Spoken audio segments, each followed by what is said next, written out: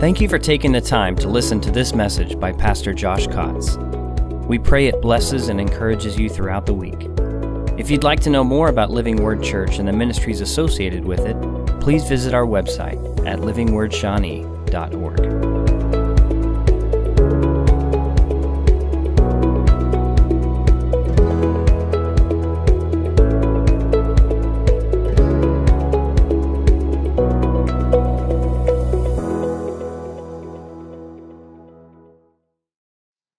Why don't you open your Bibles with me to Isaiah 55?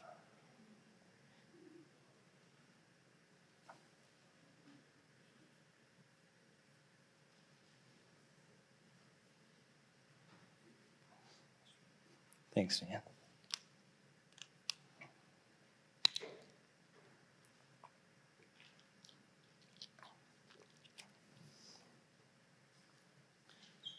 man.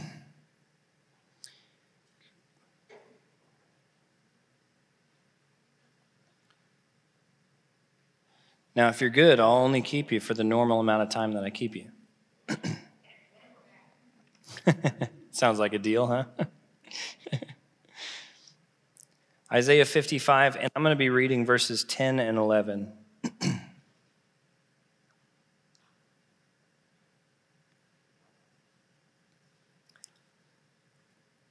God says, For as the rain and the snow come down from heaven and do not return there without watering the earth, and making it bear and sprout, and furnishing seed to the sower and bread to the eater, so will my word be which goes forth from my mouth.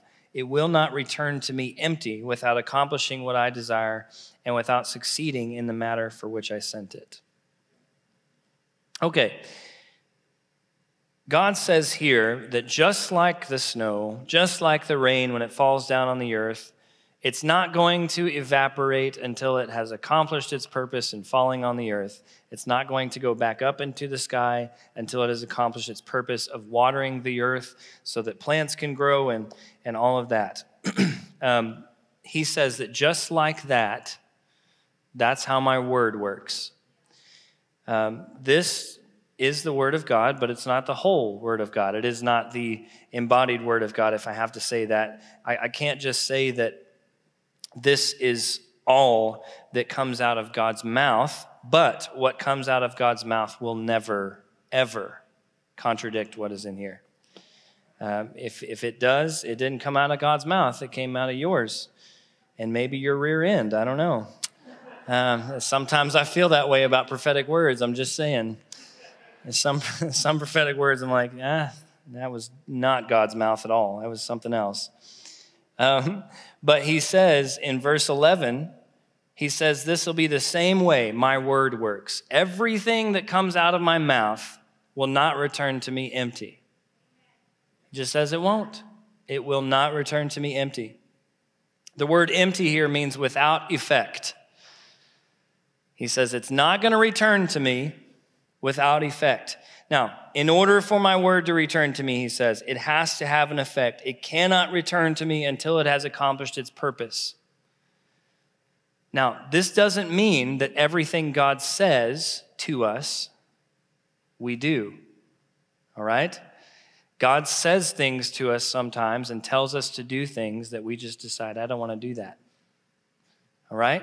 What he's saying here is not that every time he speaks, you know, it just automatically happens. What he's saying is, it can't return to me unless it has an effect. It can't come back to me unless it accomplishes its purpose. So, the goal of the Word of God is not to just be sown or to be spoken, it's to eventually go back to Him. That's the goal. He doesn't just want the words that come out of His mouth to just fall onto the ground or fall into our hearts and that's it. He wants what he speaks to come back to him. That's the goal. I believe that. Why does he want his word to return to him? It's like the troops coming home from war. It's the same thing. When the troops come home from war, what does it mean? Mission accomplished. Right? So when God's word returns to him, that's what it means mission accomplished. It accomplished what it was supposed to accomplish. What kind of farmer plants a seed that he has no intention of harvesting later? That, that wouldn't make sense at all. You ever seen a farmer plant a seed and he walks away from it and he's like, I don't really care about what happens with that thing. I just felt like planting a seed. No, the farmer wants this thing to grow so that he can harvest it later, right? He wants it to grow. This is how God is with His Word. He wants His Word to have an effect on us so that it can return to Him. He wants His Word to have an effect on us and an effect on the earth so that He can harvest it, so that He can reap the harvest. And what does it say? I think in, in Hebrews, it says, Hebrews, God is not mocked. Whatever you sow, you will reap. This is, this is God's intention. Whatever I sow, I plan on reaping. That's what he wants. Whatever I sow with my word, I plan on reaping. Basically, God wants a return on his investment. Sounds pretty fair, right? All right, let's turn to Mark chapter 4.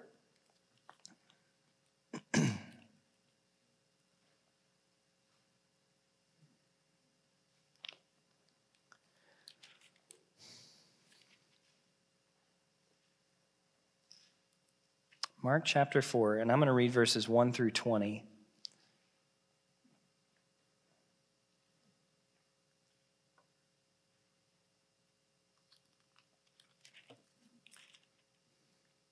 All right, Mark 4, 1 through 20 says, He began to teach again by the sea. This is Jesus. And such a very large crowd gathered to him that he got into a boat in the sea and sat down. And the whole crowd was by the sea on the land.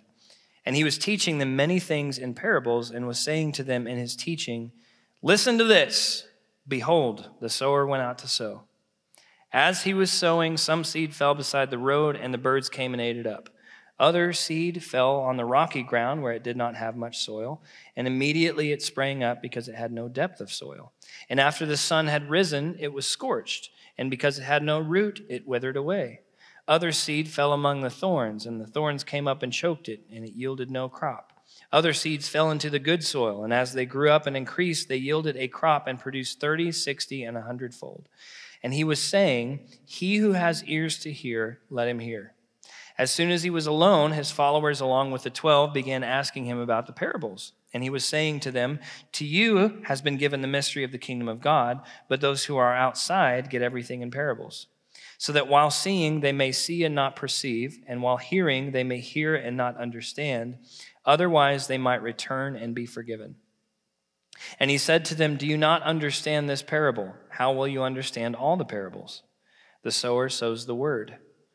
These are the ones who are beside the road where the word is sown. And when they hear, immediately Satan comes and takes away the word which has been sown in them.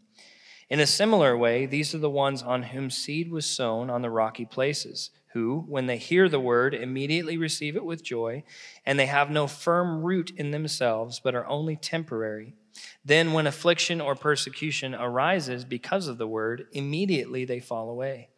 And others are the ones on whom seed was sown among the thorns. These are the ones who have heard the word. But the worries of the world and the deceitfulness of riches and the desires for other things enter in and choke the word, and it becomes unfruitful.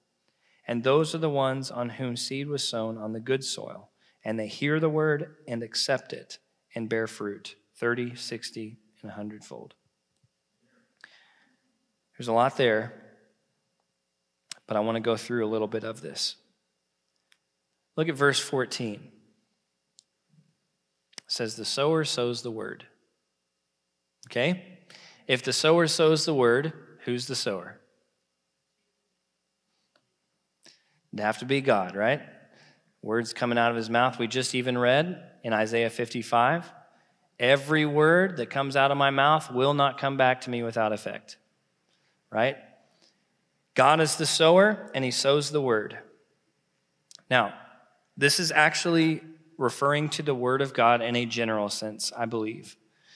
I think that there are obvious connotations to the gospel here, that when the gospel is sown into our hearts, these are this is basically showing us pictures of what can happen based on how we receive the gospel. But I want to tell you something about the gospel. The gospel has to be the whole word. It has to be. It has to include the whole word. The gospel is not separate from the word. The word is the gospel, the gospel is the word. Okay?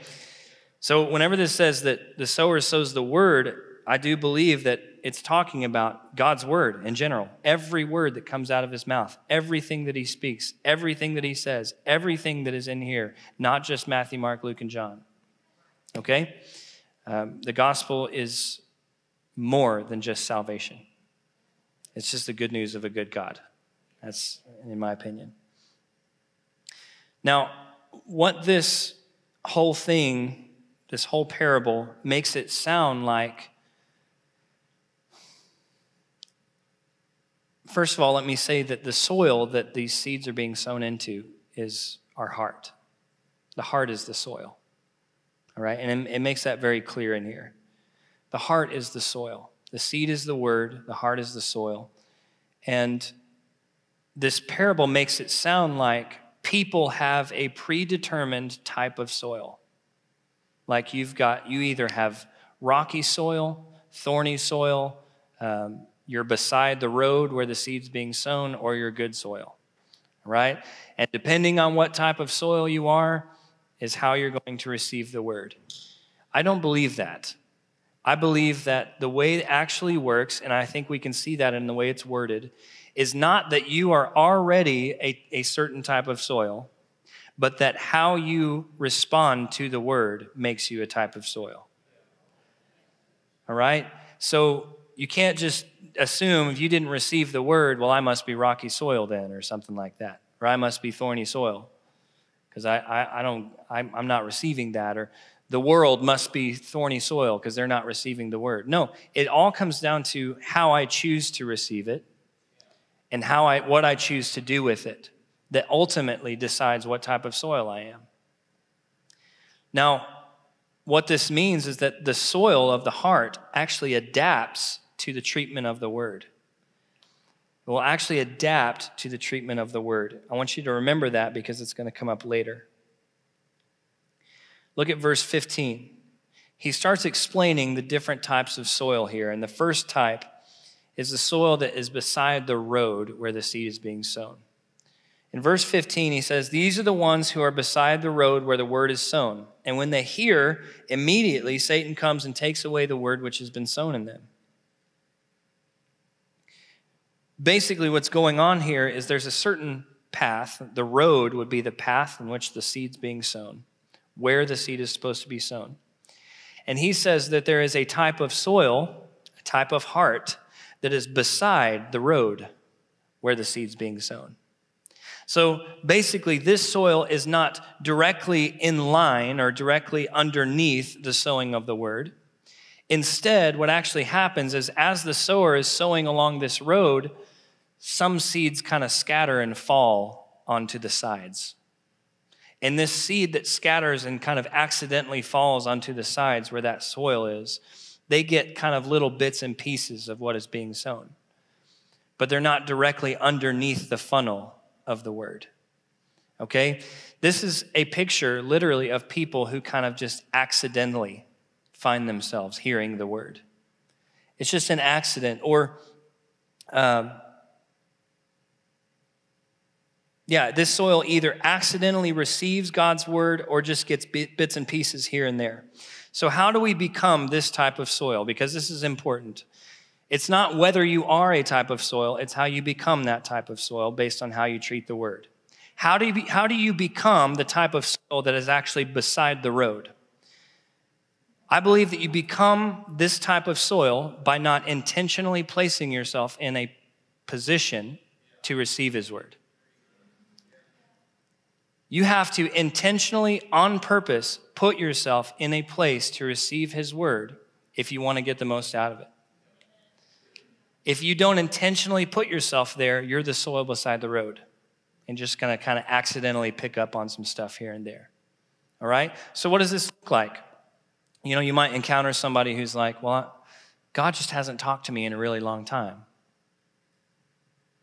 And then they say, I haven't been to church in a long time. Well, maybe you should go to church. Intentionally put yourself in a place where you can receive the word. Put yourself there on purpose, and you'll hear his voice. Put yourself in your closet on purpose, wherever it is that you hear him. Put yourself, um, put some worship music in your ears or something. Put, just do it on purpose. A lot of people feel like they can't hear God because they're, they're, in all reality, what they're doing is that they're just kind of avoiding their, their role in actually receiving it. Like God's not talking to me anymore. No, you're just nowhere that He's talking.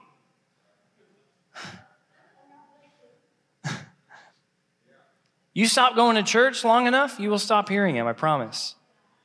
This is a place where we can intentionally put ourselves just in a place to receive his word and to hear him. Amen? The people that, that joined David's tent this year and last year, what are they doing? They're intentionally putting themselves in a place to receive God's word, to hear him. Because that's what it's about. Now, this is interesting. Look at verse 9, speaking of hearing. Verse 9, he says, And he was saying, He who has ears to hear, let him hear. you know what this tells me? That it's never a matter of whether God is speaking, it's only a matter of whether I'm hearing. Let he who has ears to hear, let him hear. Pretty simple. Your grandpa ever say that to you? I can't hear it, grandpa. Well, you got ears, don't you?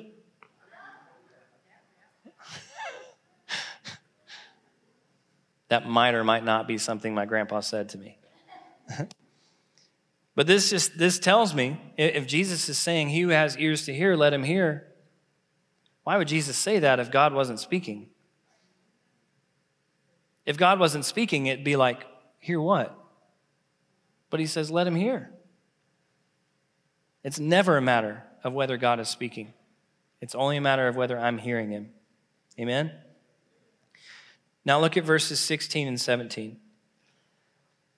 It says, In a similar way, these are the ones on whom seed was sown on the rocky places, who, when they hear the word, immediately receive it with joy, and they have no firm root in themselves, but are only temporary.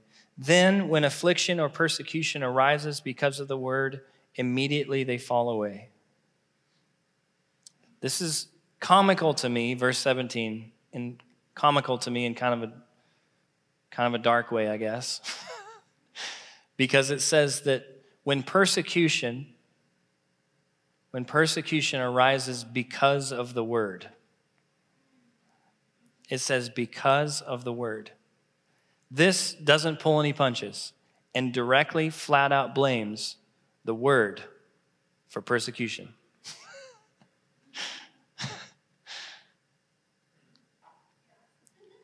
it's comical to me like I said, kind of a dark way because it's persecution, you know, affliction. But it's comical to me that Jesus would say, listen, the persecution, the affliction that you're experiencing, it's because of what I put inside of you.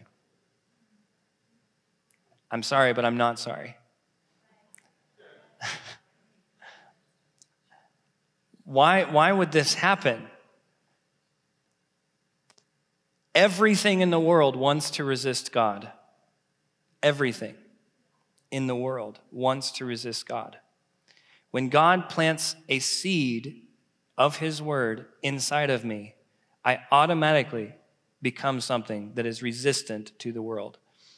And if I am resistant to the world, the world is resistant to me.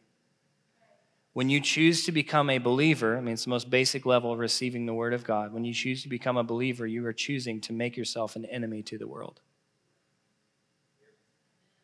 You are. You can't be a friend to the world anymore. You're not on their side. This is why the word says resist the devil, not assist the devil. Right?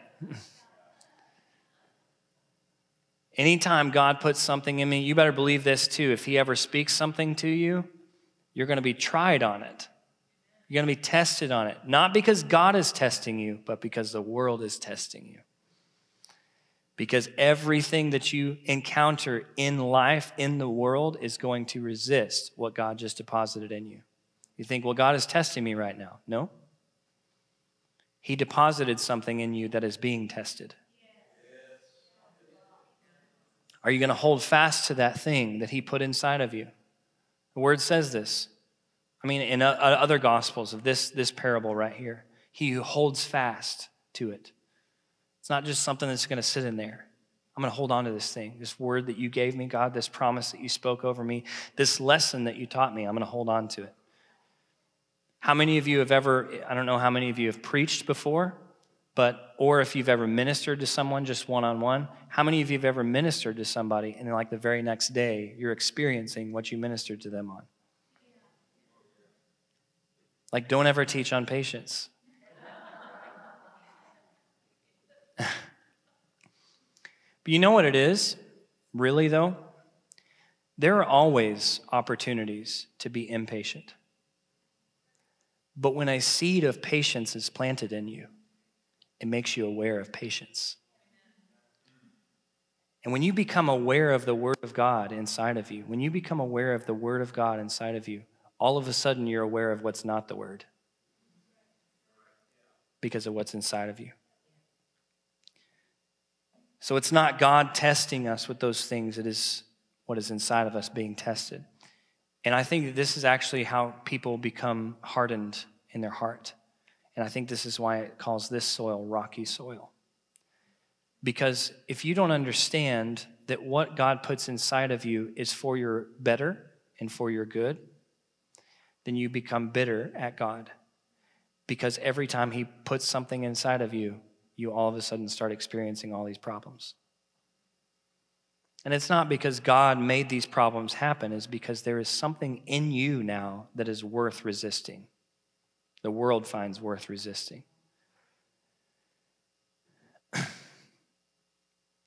and I think people over time kind of get bitter. They harden their heart toward the word of God. They're like, I don't want any more. Because every time you put some, every time you promise me something, every time you speak something over my life, I get tested. I get tried, I get persecuted. You become rocky soil. It's like you initially received it, but then trial and persecution come, and you're like, I don't want this anymore. Right? Know this God's not going to put something inside of you, put a seed inside of you, put His word in you, or speak His word over your life unless He knows that you can resist the persecution that will come because of it. He doesn't always seem fair, but he is. right? All right, look at verses 18 and 19 now.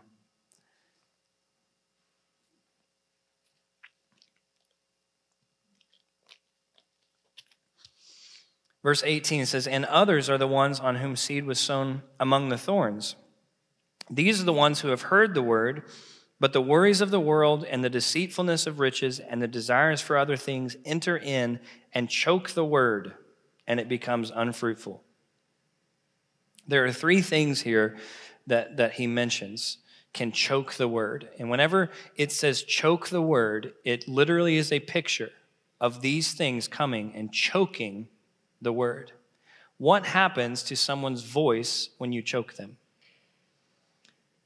it's you can't speak when you're being choked so these thorns that it's talking about actually prevent the word of god from being heard like it, it prevents it from speaking into your life not that something is choking god but whatever god has deposited in you that word that he has, he has spoken over your life it will silent it will become silent because of these things and there are three things here that he mentions. He says, first of all, the worries of the world.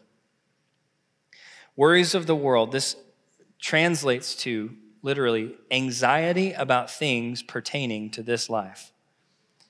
Anxiety about things pertaining to this life. A lot of people are driven by the worries of the world, the anxiety of things pertaining to this life. Going back to what Pastor April just said during the offering, we have a lot of things that we could be anxious about right now, right? Now, whenever we become anxious about things pertaining to this life, it silences what God said to us. Why would becoming anxious about things pertaining to this life silence what God says? Well, anxiety is also a voice. It is a voice that is the opposite of God's. And what anxiety does is it steals away our trust in God. And it actually steals it and uses it for its own good, for its own gain. That's what anxiety does. Anxiety is just trust in the wrong thing. It's trust in something that actually cannot hold you up. It is impossible to become anxious when your trust is totally in God because He is capable of carrying you. If you place your trust in something that cannot carry you, that's when you become anxious. If you feel like the answer is always more money, then the answer will always be more money. When you get more money, it's still your answer. Why? Because it was your answer before. When you get more money, you're going to want more money, and you're going to want more money, and you're going to want more money. What do you think happens? The same thing happens when your trust is in God. When, you're God, when God is your answer. What happens when God is your answer? You're going to want more God, and you're going to want more God, you're going to want more God, you're going to want more God. Right? So, this is why the worries of the world can actually choke that word. It can literally take, if God said, I'm gonna, I'm, I'm speaking financial provision over your life, and you're anxious about money, you are allowing your trust in money to dominate what could be your trust in God and letting Him actually take care of what He told you He was going to take care of. And, and you'll literally just forget what He said. You just won't be able to hear it. It says the deceitfulness of riches is the second thing. The deceitfulness of riches. Not riches, the deceitfulness of riches. All right? I can't condemn somebody for being rich. Okay, some people are rich because they're smart. Some people are rich because they're spoiled. Right?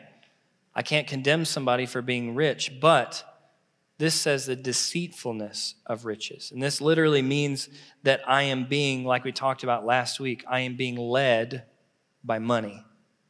I am being led by wealth. And more appropriately, I am being misled. That's what it means to be deceived. You're being led, but it's in the wrong direction. That's what it means to be misled. Right? Now, the deceitfulness of riches then means that it's a pursuit of wealth that looks like it could be a good thing, but you're being misled. My pursuit is not, it should never be for wealth. I should never be in pursuit of just wealth for the sake of wealth. That's, that's deception. Because my pursuit is not for anything on this earth. My, my pursuit is for Him up there. That's, that's what I care about. That's my number one. And then it says, this, this is kind of funny too. It says the desires for other things. You know what this means? Literally, desires for everything else. Just everything else. Go ahead and lump it in there. I wonder if Jesus was talking and he was like, um, what's the first one? He says, the worries of the world, the deceitfulness of riches. And he was like, oh, just all of it, really. desires for anything, anything but his kingdom ultimately. The word says, Seek first his kingdom, and all these things will be added to you. Right?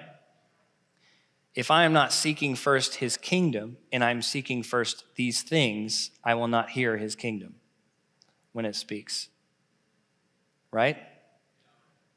You hear me? All right. And then verse 20 says, And those are the ones on whom seed was sown on the good soil, and they hear the word and accept it and bear fruit 30, 60, and a hundredfold.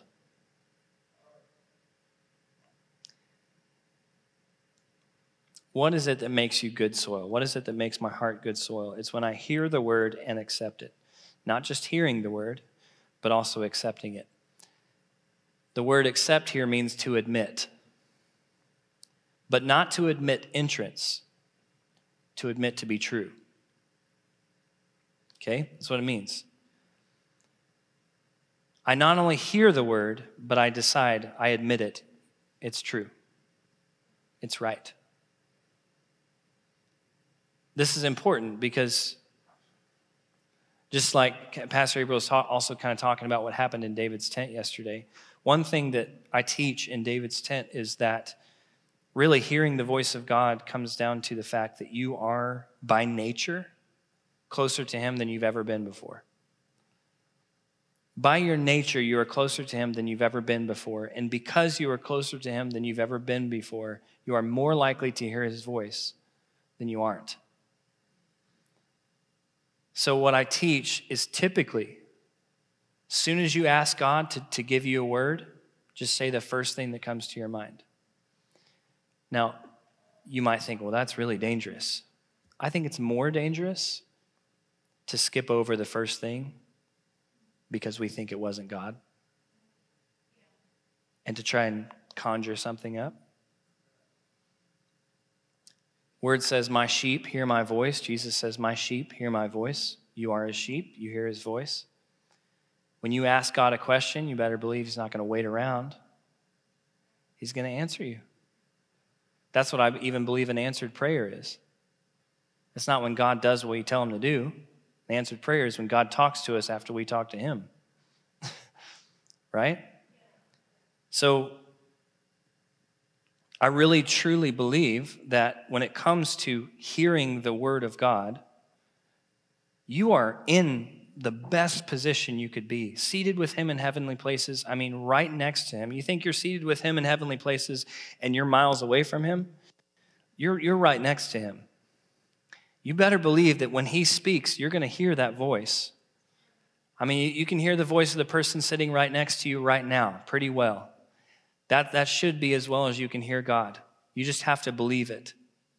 So, what makes us good soil, though, is when we hear His word, we hear Him speaking to us, and we admit that's the truth right there. But we don't always want to admit that that's the truth, especially when what He speaks to us sounds too good to be true. Have you ever had God give you a word that sounds too good to be true? And it's so too good to be true that you almost convince yourself that it couldn't be God? You ever gotten a word like that before? If God told you right now, if God said, I want you to have a million dollars, would you believe him?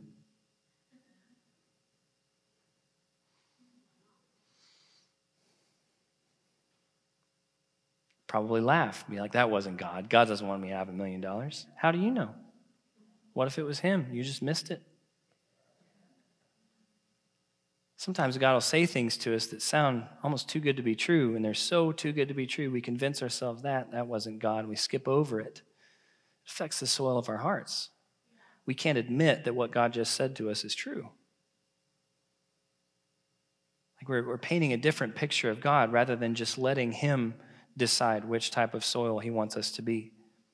Painting a picture of God ahead of time rather than just allowing His word to penetrate the depth of our soil and and change who we are. So I not only hear the word, but I also admit it. It's true. And what that does is it causes, causes me to bear fruit. That's what it says. You know what happens when you bear fruit?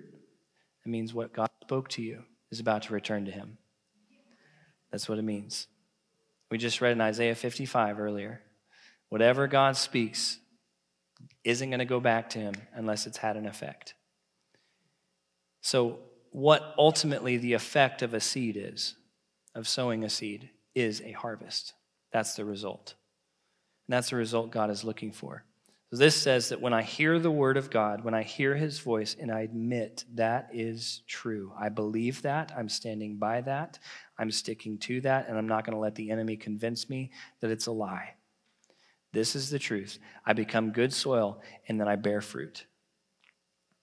Now, just to close this out, I want to talk about what fruit is. We've talked in the past about this, and I firmly believe this that fruit is actually not deeds, it is character.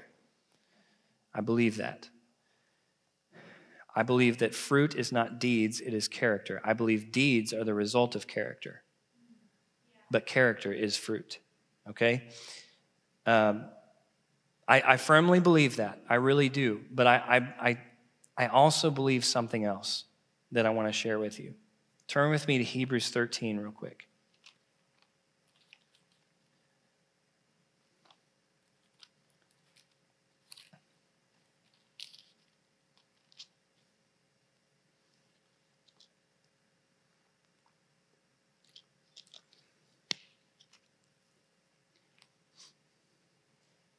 Hebrews 13.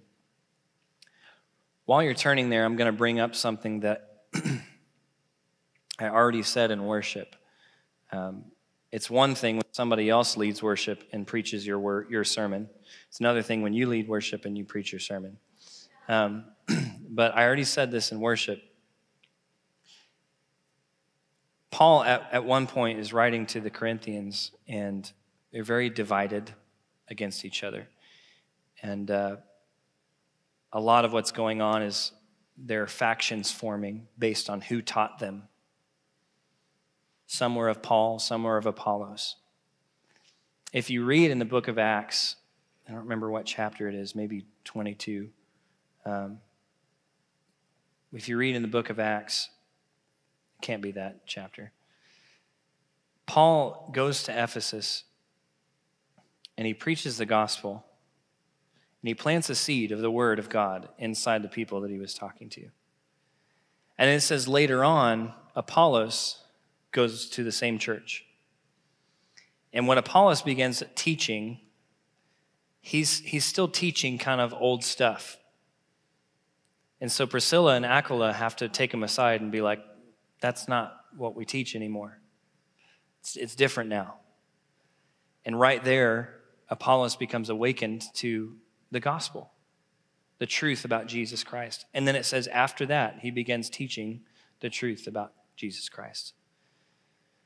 So what happened is, Paul, whenever Paul is writing to the Corinthians, he says, we're all, basically says this, we're all just servants, obedient servants to God, doing whatever it is that he tells us to do. He says, I planted and Apollos watered, but it's God who's causing the growth. That's what he says. I planted, Apollos watered. It's God's, God who causes the growth. Now, listen, if a plant doesn't get water, is it going to grow? Right? A plant needs water, but does it say God watered the plant? God caused the growth. In other words, there is no life outside of God. There is no life outside of God. He caused the growth, but it doesn't say God watered it. It says one man planted, the other man watered. Now, here's what, what happened though. When Paul originally preached the gospel at Ephesus, that's what he did. You know what he preached on? The truth about Jesus Christ. Apollos comes back later. You know what he preaches on? The truth about Jesus Christ. Paul planted, Apollos watered. What were they saying? The same thing. It's just the one who did it first is the one who planted. The one who did it after him repeated it is the one who watered. Right? Hold on to that. Hebrews 13, verse 15. says, Through him, then, let us continually offer up a sacrifice of praise to God, that is the fruit of lips that give thanks to his name. Fruit is character, but there is some fruit here that is different. The fruit of lips that give thanks to his name. This is the sacrifice of praise. It gives a definition for the sacrifice of praise. The fruit of lips that give thanks to his name. I want you to know this isn't saying, this isn't talking about the fruit of our lips. This is saying the fruit is our lips. Okay? Are you with me? In other words, this isn't the result of our lips. This is saying that our lips is the result of something else. It's not the fruit of our lips, it's, the, the, it's that the fruit is our lips. And I know it says the fruit of lips that give thanks to his name. But this is just saying this is what the fruit consists of lips that give thanks to his name. This is the fruit. Okay. This says, Let us continually offer up to God a sacrifice of praise. That is the fruit of lips that give thanks to his name. Here's what's amazing what does it mean to give thanks to his name? Well, right here it says give thanks. The words give thanks literally mean to agree. Or, or more specifically, the words give thanks literally mean to say the same thing. To say the same thing. As, as who?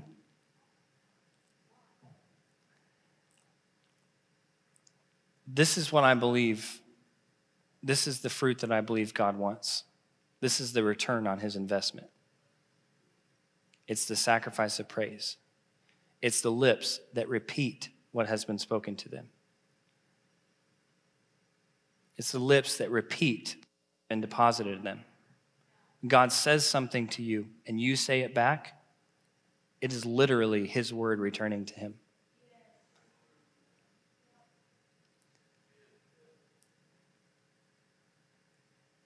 Most of the time, though, we, we find it hard to say it unless we've seen it, right?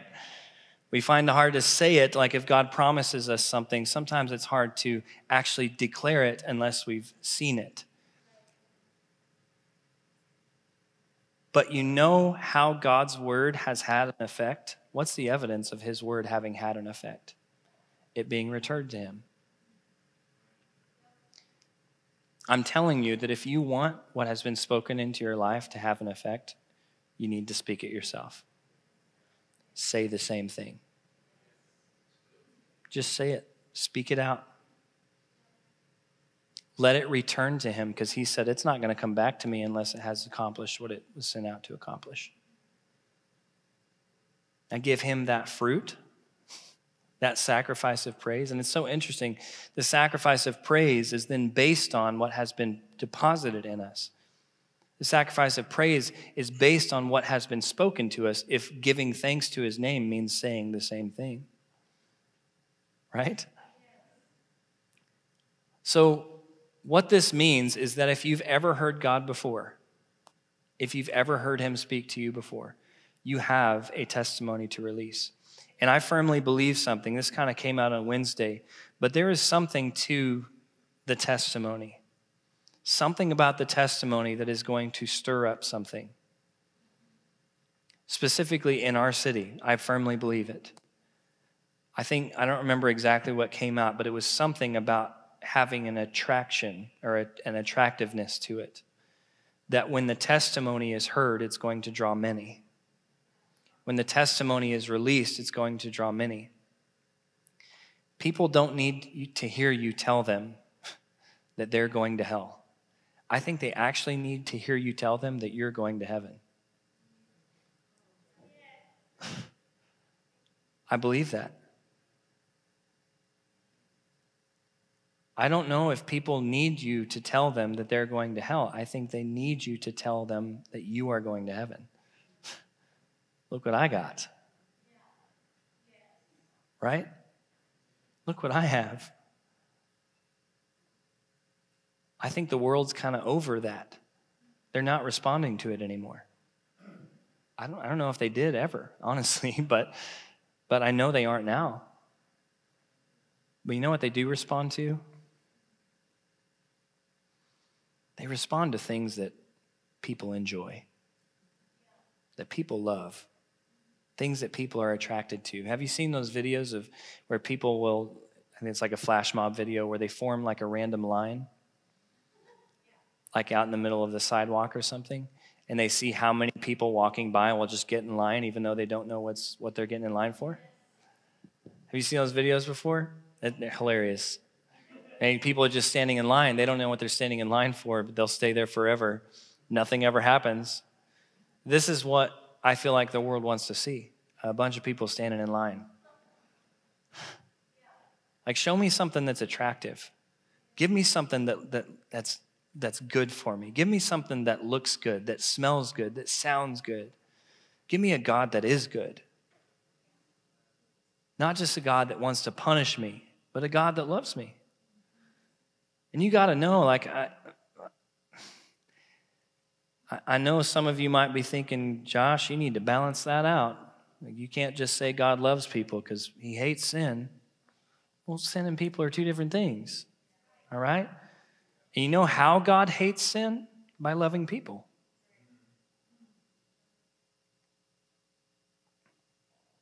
You know how God destroys sin? By forgiving it. so, what, what we need to get in the habit of doing is we've been talking lately about bringing to remembrance the things that God has spoken to us over the years. If you've taken notes or something about things that God spoke to you, or you've, you've written down prophetic words that He's given you, pull those things out, begin to speak them out. Let them return to Him. Let them go back to Him. Give them to Him in praise. You might feel like I haven't seen this happen yet, but I can pretty much guarantee you that if you begin declaring those things over your life, you'll see them happen. Because God said it can't come back to me until it's accomplished what I sent it out to accomplish. Right?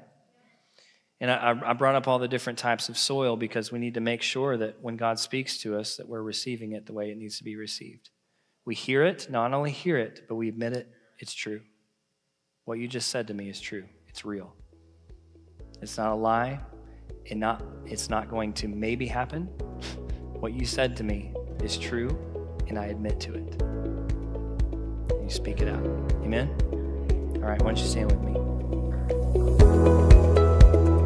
Thank you for taking the time to listen to this message by Pastor Josh Cotts.